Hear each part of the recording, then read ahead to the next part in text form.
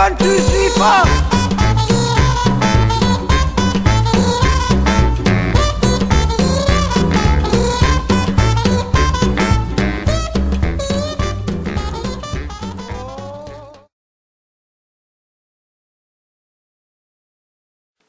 Hello, welcome to two weeks postpartum and Edie's second week of life.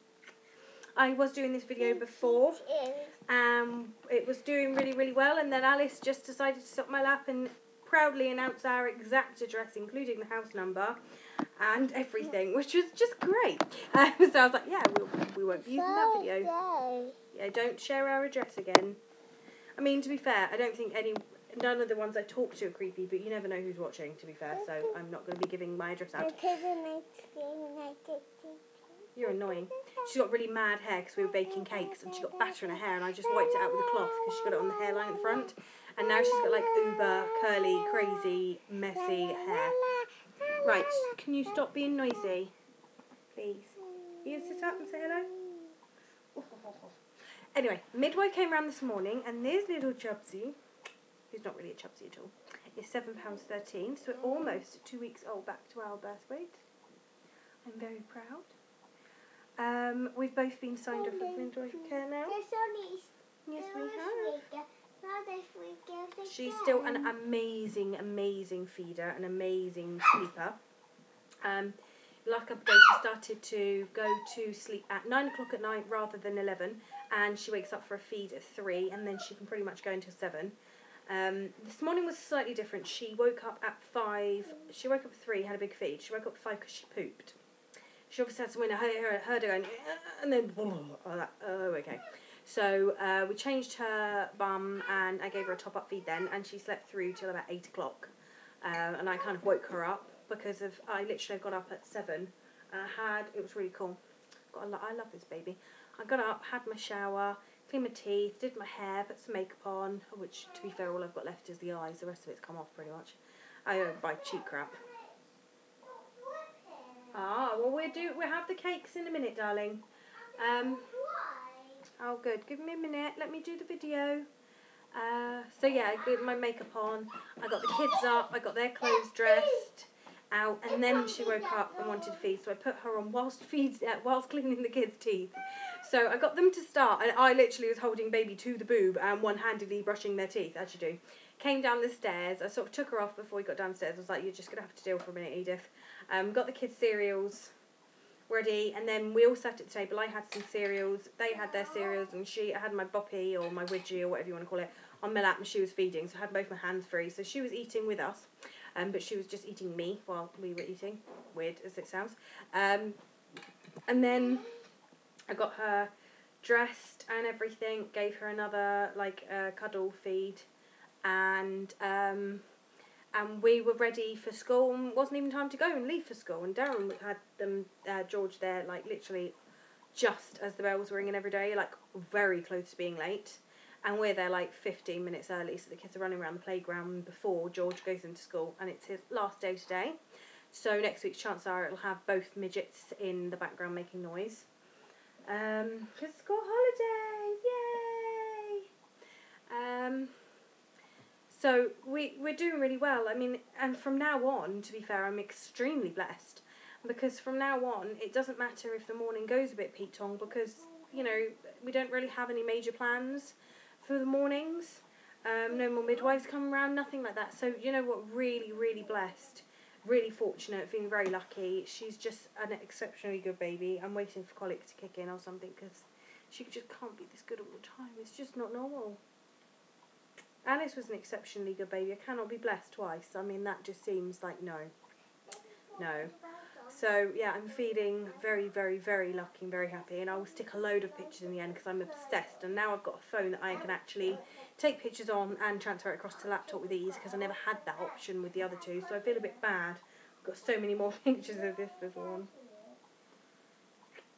And she smells lovely. I just love everything about her. Look, I might put my yo there.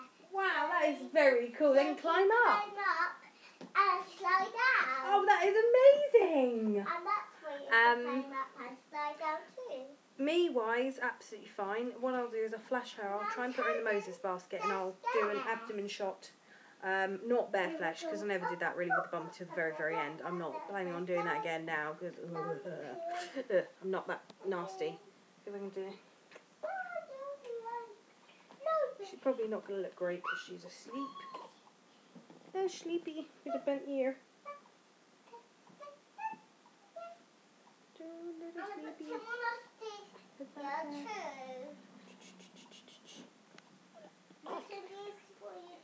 wind. She put froggy faces. This way it is like that, and then that past that by Tina. Right, I'm going to put her down one second. Look, I made I'm another going to flash a little bit. I made a slide. Right, I popped her down. So I will do a bit of a flash. But under the boobs, which of course wearing a nursing bra, not very supportive.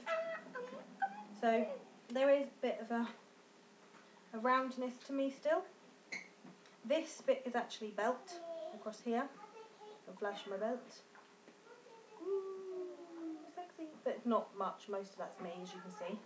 I have got a t-shirt on underneath because when I feed her, I will pull this bit down and this bit up and that way I'm not flashing flesh. But as you can see the white actually looks makes me look bigger than I think I look normally. Again some of that is belt but most of that roundness is me but to be fair I'm not much smaller than that. Anyway so that's that um, the only other thing I've got with me is the SPD hasn't fully gone I'm still getting pelvic pain and I seem to have um, a nerve pain in my back, right where it was throughout pregnancy, slightly on the left hand side of my spine. Not really sciatica, it doesn't go down my leg or anything, but I still I still have that, which is a bit uncomfortable. So my pelvic and back issues are still apparent, uh, unfortunately, but not really bad or anything like that. So I really can't complain. Um, but that that's it really. When it comes to postpartum bleeding, that's pretty much done. Uh, I said the breastfeeding's doing going really really well. Edith is absolutely amazing. The kids are brilliant. George was having a few issues, as I said last time. He was quite emotional and everything, but he's over that now. He's just, I just yeah, I I I, can't quite get my head around how fantastic it's all going, and I think someone's actually doing a nappy filler right now. So I'll shorten this, and as said, I'll try and stick pictures on at the end. Um,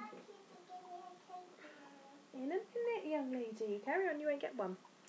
Um, so yeah, I just I keep thinking something's going to go wrong because it's just too good. It's too brilliant. That you know, the kids are being really really good. Edith is really really good. Everything's going really well, and I keep thinking, ah, false.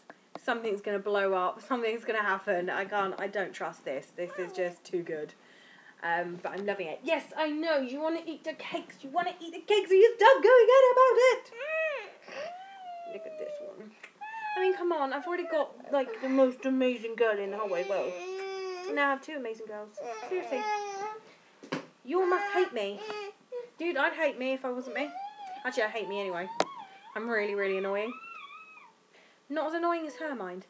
Um, and on that note, I'm going to go and like check the cakes are cooled down. To be fair, she did bake them. I don't actually blame her. Apart from me kind of wants to go and get a cake too. Clearly, who ate all the pies? me. Um, so yes, stay tuned for some Edie pics, and I will speak to you all next week. Bye.